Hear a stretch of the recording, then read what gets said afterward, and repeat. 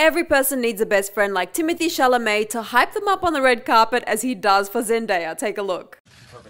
Eat him up.